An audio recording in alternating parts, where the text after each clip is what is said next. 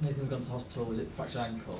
Well, so that was the first uh, diagnosed, but um, of course, first we have to see uh, an X-ray, and then I think in a couple of days an MRI scan um, to know if it's bad or, or really bad.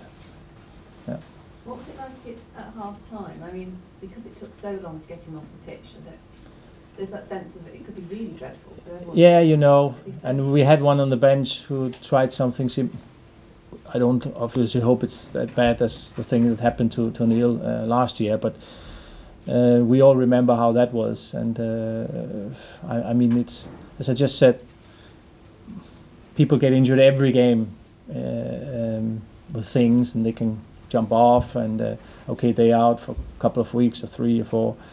But when you see people get carried out like that, and uh, then you know it's it's much more. No?